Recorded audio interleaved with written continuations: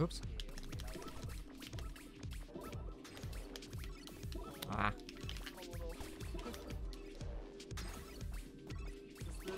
Even, you know, even this part right here, you're barely, ideally.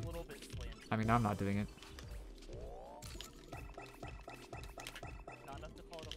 But you're barely touching the fragment here, too.